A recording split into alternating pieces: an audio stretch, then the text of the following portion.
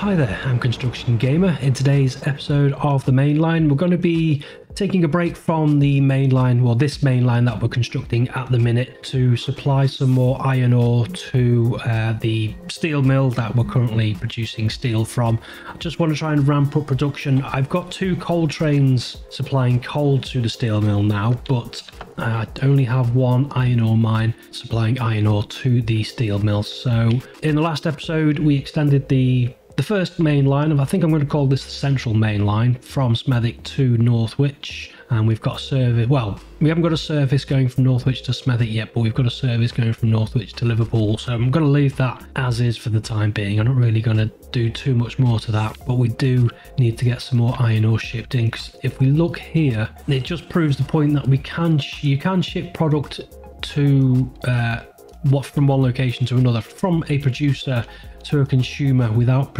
uh, shipping the actual end product, if you get what I mean. Uh, so we've got loads of coal. So you can see here we've got st uh, stored coal. We've got 10,000 units of stored coal from the coal mines, and that's because I've ramped up the shipments of coal. We've got two coal mines linked to the steel mill now, but because we're only uh, sending one load of 400 iron ore to the steel mill, then we're not uh, living up to our full potential at the steel mill because it takes two iron ore and two coal to produce just one steel. So what I've had to do for the time being is I've taken off the second uh, steel train that was uh, going to the the what what is it? What are we supplying? The machines factory. So just one steel train at the minute. I don't think that's doing particularly well either. No um yeah it's let's let's just take a look at what that that's no that's iron ore. You are the steel train. Let's have a look at the finances. Yeah not great uh, this lumber as well. This lumber's not doing particularly great. That's all over the place. So i don't know what i'm going to do about about these two for the time being. We'll just uh,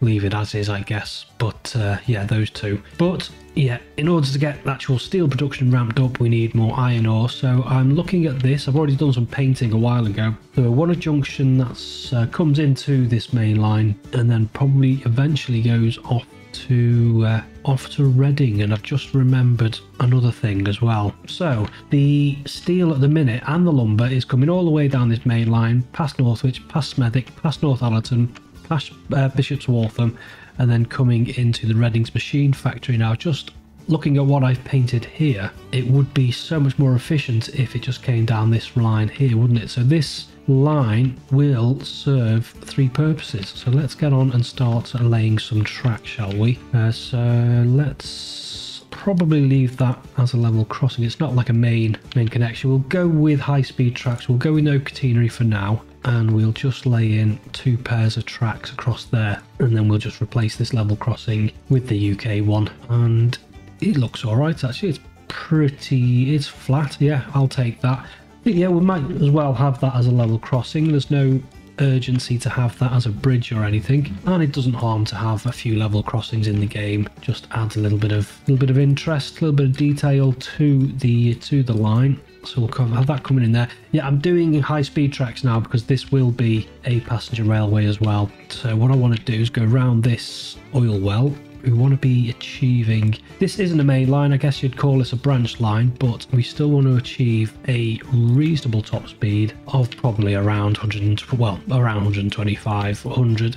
So just being aware of that, but I do want to go around that oil well rather than straight through it. And then we'll just come in, start to bend in. And I think this road that we're approaching probably does want to be a bridge because it's serving a town. So let's pause the game because it's going to complain. And then let's think about, I think, right, shall we put in a station? No, what we'll do is we'll have some bypass tracks, I think, and then we'll have tracks heading in, heading into the town. And we're going, going up into a little bit of a, a cutting there, aren't we? But we're still managing 100, well, uh, well over 100 miles an hour, so don't really need to worry about that too much. Yeah, nice. Actually, that's not a bad little cut in that. I'm just aware that we've got to get a... I think what I'll do is I'll have a pair of tracks coming off, going into a station, then coming back, and then we want to head towards towards Reading that way. So let's delete this crossing as well. I'll what I'll do is I'll put this track in first because it's looking like it's going to be in a cutting for most of it anyway. And then we'll come in and replace the road bridges. Uh, so let's go assets. Let's get rid of some of these trees so we can just see what we're doing a little bit. Still having a little bit of an issue with the keyboard binding since the update. I, I guess I can see what they were trying to do, trying to simplify, unify the control systems. But because I'm left-handed, I use the arrow keys to go forwards, backwards, left and right. But for some reason, the keyboard binding option for that is, you know, you can no longer bind the arrow keys to the direction keys, which is a little bit annoying if I'm honest. And what it does instead, if I press left and right, no matter what I do, it just, you can see there, it's changing the settings. And let's say if I bring this menu up, which has got up, down, sometimes it will um, sometimes it does it sometimes it doesn't sometimes it'll just go like up down in this menu it's a little bit of a little bit of a gripe and it's really starting to kind of annoy me especially as someone who's left-handed and really needs to use the arrow keys. I guess I could use the numpad, but again, I haven't tried the keyboard binding for that, so um, we will see. Maybe, maybe someone will fix it. I really hope so, because it is a little, uh, little bit frustrating. Right, yeah, def definitely can't use the WSD SD keys. Not, uh, not an option. Right, so let's get this track over, over towards Reading, and we'll just leave it like that for now. Uh, actually, where's the um, yeah, we've probably built far too much track. Never mind. Right, so what we're doing is replacing these bridges anyway, aren't we? So let's get those done first before we forget, which I'm prone to do. So we'll do from there, no, up one just on the level. No, maybe up a little bit more then. No, it's miles up in the air now. Right, so that should should be like my, like well high enough, like well high enough. Great, great English there. Uh, let's put in, what should we do? An arch, perhaps? That's quite nice. Yeah, let's let's chuck that in there. And then get in some track. Some track? No, definitely road. Some road. Uh, no, we want embankment. And then we just want to try and hook it up to that little bit of road there. So let's destroy all of this and then just put that in to there like so and then obviously this wants to connect into the town. So let's have it pointing in that sort of direction. Uh yeah and then just a straight straight bit of road across there like so. It's quite a little nice pretty uh, arch steel arch bridge there. Terrain tools smooth off some of this. Now another thing I found just while I'm moaning is I've got the paintbrush mod but you'll see here I've got the strength put up to 100% and it takes an absolute age to paint things. So I don't know if that's because I've got the mod installed and the mod's kind of breaking the paintbrush, but since the update, the paintbrush is just like so slow at actually getting, it's not so much the painting the surface, it's trying to get rid of those uh, bits of grass. And you can see there, left, right, just doing the strength. But yeah, I've got the strength way up. And yeah, we've got very, very slow removal of grass, which is just another another little bit of a gripe. I mean, everything else seems to be working since the update, update but that is a little bit of a gripe. So right, assets, retaining wall, that one. Uh, no cap wants to be four wide. Does it? Yes. And then yeah, this is this is where it gets a little bit frustrating because I, I need to press like the up and down keys, but it was not letting me. Uh, I will stop moaning about it in a minute. Right, and then we just want to chuck that in about about there, and then we just want another one around here again, just page up until we uh, just in there a little bit and then just page down just to make that look a little bit better like so. And then we've got another road bridge that we've demolished. This should potentially be high enough just to go straight across from here to here should we do actually if we go at 90 degrees to the track we can actually put a uh, brick arch bridge in. I don't tend to use these very much. I don't know why to be honest. This can be like an older older piece of infrastructure. I guess the reason I don't use these often is because they do literally have to be at 90 degrees to the uh, to the railway or to whatever you're crossing because otherwise the uh, the bridge looks a little bit rubbish. So we want a what's that no I don't know. I don't know what these mean actually to be honest. Is that small medium broad brick B. We'll go that. That's that's quite nice. I'm not sure if I like that brick that texture though. Actually, okie dokie, that one. I just want the that that colour. That's quite nice. Can I just extend that out a little bit? Can. And then what I'm just going to do very quickly is just upgrade this with catenary as we have an autosave and that's yeah that's more than high enough for uh, for that so yeah that's quite nice let's just hook the road up so a uh, little bit of road over here into there and then again. Actually, that's not very, you know, that's quite, that tends to what they used to do. You know, you do find you have roads like this. So where, uh, in days gone by, when they've been building the railway, that's on a little bit of a slope, they will just, you will have like this S-bend sort of thing where the roads have to cross the railway. yeah, I think I'll I think I'll live with that, and then I'll just do a little bit of smoothing, and then we've got a nice nice looking brick brick bridge. I quite like the look of that actually. Need to use that more often. Okie dokie, so we've done those two road crossings. We've built far too much track, but it's not the end of the world because, yeah, we will be using that very quickly. But the actual iron ore mine that I eyed up was over here. Now, I don't know how to get to it because it's in the middle, it's in between two mountains.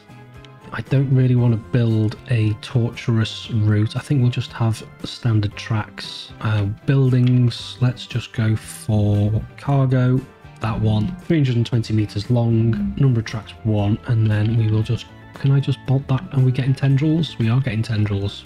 So i think i might just take that you know just straight onto there. I think possibly um, yeah let's make it a little bit longer. Let's go cargo buildings. I think no car platforms cargo platforms. Which one's the newer one? That one. Yeah i think these are going to be like the longest trains or the longest platforms so it's 320 plus two segments, which I think takes up to about 360 odd. So yeah, we'll we'll do something like that because I it's obviously it's going to take quite a while to get from there to here. So iron ore is going to build up as they uh, as they wait for the train to arrive. Right, so let's get some more track. This is where it starts to get a little bit interesting. I think I'm just going to try and worm my way, weave my way up this valley almost could be quite a nice little route this, up, but it's it's going to be quite slow. I guess the, the train will be struggling to get up this up this hill anyway, so I'm not going to worry too much. This actually does has a, have the potential to be very pretty indeed. I might do a train ride on this cab ride. Um, and then just trying to look. We are going to have to have a tunnel at some stage. I think what I want to do though is try and get rid of some of these trees because I really can't see what I'm doing. And I think what I'll do is we're going to go this way for a little bit, follow this, and then we're going to have to have quite a large tunnel which kind of comes out comes out onto the no. What shall I do? I don't want to have to rebuild that road bridge if I'm honest. Can I get away with... I know this is a bit kind of out of the way, which makes the route a little bit less efficient and likely less profitable, but can I do that? It's not miles out of the way, is it? I know that would be a nicer route straight through that hill there, but just wouldn't be as interesting, would it? It'd be a little bit boring if I'm honest. So let's uh, let's see what we can do here. Is that doing a little bit of a tunnel? That's that's overkill, I think. A tunnel is it? Is it? A little bit of a cheeky tunnel, why not? And then just kind of, we are almost doubling back on ourselves a, a tad, but I think I'm going to take it and then we're going to have quite a slow curve coming in there. And then I guess that can be, that can be a level crossing, but I think that just wants to be upgraded. I'm not going to upgrade too much, I just, and now that looks, that does look a little bit ugly and it is a main connection as well. Uh, can I just put in, no, let's get rid of that tree, that's in the way. Let's just flatten like so, and then nice, very flat level crossing. Yeah, if I'm going to use level crossings, they at least have to look nice. Don't want ugly, uh, ugly looking level crossings, and then obviously we need to change it to the uh, the British one. Should we go with that one? Yeah, something like that. And then obviously we just want, I think what I'll do is I'll have high speed track. Have I got catenary there? I have, haven't I? Uh, bring the track alongside. Nice, reasonably fast switch. What we've got going on? 18. That's that's more than fast enough. Let's go for 60. I'm guessing I'm going to be using class 60s on this, so which have a top speed of 60. So we don't need to go mad with the speed of the turnouts. Uh, that's all looking good. I think we just want to downgrade this bit though for now to uh, to non-electrified. That's all looking good. Couple of signals. Uh, so want that one one way yes. I think we'll just chuck a signal on there and then a signal on about there. Yeah, it is, it is doubling back on itself just somewhat, but it's not uh, it's not the end of the world. Right, and then this track here needs to be upgraded to double track, which probably does mean that we're going to have to uh, rejig this track here, doesn't it? Let's get rid of that signal, and then we'll have two tracks. So bit of a corner, and then this is going to be a triangular junction as well. It is, let's have just that that coming down a little bit. So that like so, that like so, and then can I just have another junction coming into the side of it? Like so and that just allows me to put in a one-way signal on that bit of track there which is all good. And then just get this hooked back up to uh, to that over there. What we got? 56. Is that just because the bridge? Yes, it is. Good. Right, we can uh, we can put that in there. And then can we get in 40? Yeah, that's probably fine. A switch over here, 60. And does that give us enough? I think that gives us enough space for a train, for a block section to go in. So obviously one-way signal there and then a one-way signal around there.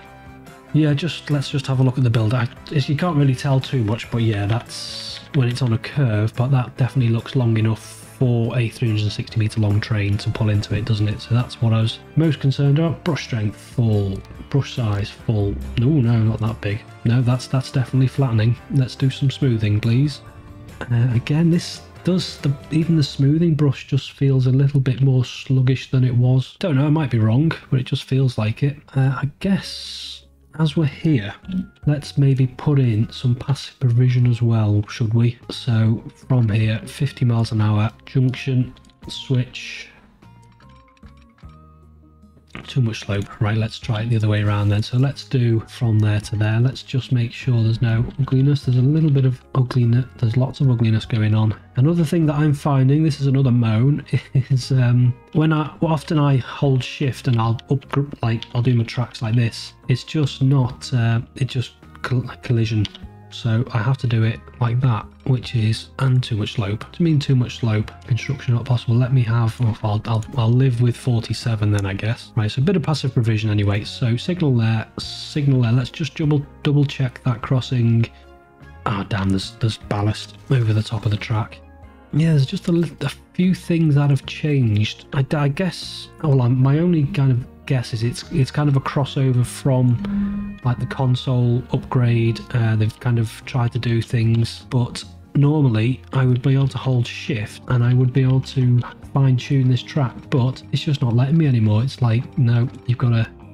I guess they've tried to simplify, unify things, maybe, but I definitely used to be able to hold shift and page up and page down to adjust those tracks.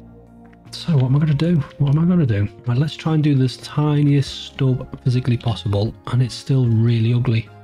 Yeah, recently it, has been. See, I can't can't make that track go up. Really, really annoying. It, yeah, up until recently, it was actually really forgiving. It would actually let you build junctions on quite steep slopes, and now it's just like no, no, you can't do that anymore. not, uh, it's, it's almost like they've taken your fine control away from you, which is not good. But I will try and stop moaning. Right, so we'll jump that in there and then I will chuck in that track that I need. So holding shift, that's still gonna be, is that is that better? No. Yeah, that's weird. I can I can press like page up and page down. I can do all this, but I can't like hold shift to give me those really fine controls that I need in order to build a relatively decent looking junction. Not, oh dear, don't really want, that's really slow turnout. I think the the passive provision is going to um, is that no that's just a cop out isn't it? Let's one more try. So this looks a little bit flatter that I'm trying to work on here. So let's just go with something like that. Uh, there's no ballast overtopping the rail I don't think. We've got a nice turnout of 60 miles per hour and that's 60 let's just double check that. Oh damn it. There's no i'm not not happy with that really. It looks weird. Something's broken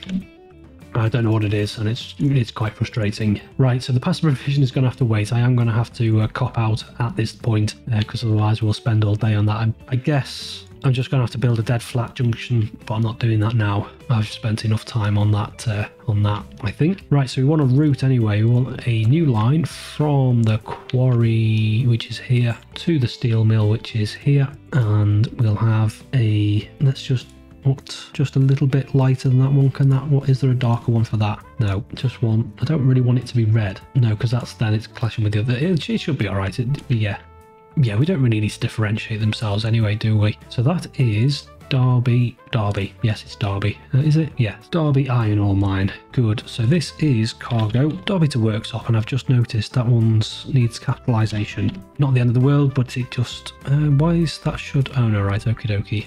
Let's get these perfectly suited so they're all kind of, you know, just so we get the alphabetical order like so. And then we're going to chuck on a train. So we've got our depot here. Let's unpause the game. We don't need to be paused the game anymore. New vehicle, uh, diesel locomotive. Class 60 again. Not the most attractive train in the world, but it's just a good workhorse. 60 mile an hour top speed. We've used Colas already. What, Drax? No. DB Schenker. Have we got a DB Schenker? I don't think we have actually. So let's go a couple of DBs. Oh, that says D Doveholes. D DB Schenker colours to me. Right, and then we want cargo, and we're using the PTA bulk tippers, aren't we? Why has that got? Is it that one? That one. I think that's the one I I used. I edited. Let's just do. Let's do these ones add a load of these until we get to about 300 meters long, shall we? 345 meters long. Let's see what that looks like. Chuck you on the end by no maintenance, and you are iron ore Derby to Worksop, like so. Are you going to appear anytime soon? Let's just check these platform allocations actually while we're here. Can I just make you a little smaller? Um, yes, that should be. No, actually, I don't want don't want you on the coal platform. I want you on the platform number two. It's only because we've got two trains already coming into the coal platform, or this platform number three. So uh, yeah, that's all nicely balanced. Hopefully we should be bringing in a bit more iron ore. Is the train going to say hello anytime soon? It's, it's waiting for a free path still. We've got that going, that going. Yeah, and then eventually what we'll do is once we've ramped up production, I think we'll extend this line towards the machines factory and that should make the lumber and steel trains more profitable because they're not going round. I don't, I've never been 100% sure if anybody knows the answer to this. As rail journeys, does it go via the amount of distance travelled in terms of making money? So do you get like a pound for every kilometer, let's just say an example, or does the actual kind of profit is it as the bird, as the crow flies, so from there to there? Would it be better to go longer, or would it be better to do? Uh, I mean, that's more efficient anyway. There to there, it means you're using less trains or shorter trains, so you should be more profitable but that's what we're going to do anyway. We're going to we're going to shorten the route, no matter what the actual answer to that question is. It's just something I've always been uh, interested to uh, to know. Right. So let's follow our nice. Yeah, it's definitely uh, definitely DB. It's just the name of the train. Just for a minute, I just want to appreciate that um, that engine bay. Look at that detail without glitching into it. Just incredible detail on these. It's amazing. This isn't supposed to be a simulator, but these are probably almost as good as some train simulator games I know of. Yeah, that looks really cool. Just just wanted to appreciate it appreciate that for a second. And what I'm going to do, just going to wait for him. That is that block section. Yeah, if I come in with a, another junction, we are going to have to play around with the length. What I want to do, just want to wait for him to get to the station to see how long the train actually physically is and see if the platform's long enough. So coming into the station, there's loads of iron ore waiting, which is good. What capacity we got? 480 capacity. Actually, what we didn't do. Oh dear. Right. Derby iron ore full load if any minimum don't really need to do a minimum stop time but i always do anyway. And then 120 seconds wait time. But yeah we've got capacity for oh one two maybe three or four carriages. So yeah that's uh, that should be more than long enough. That should earn us a really nice profit actually even with the kind of route through there. I think i might decorate that bit and maybe do a short cab ride just going through there. But i think i'm going to leave it there for today. Leave you with this nice, uh, nice iron ore train, wait for him to flip around once he's got a fullish load, and say, until next time, bye bye.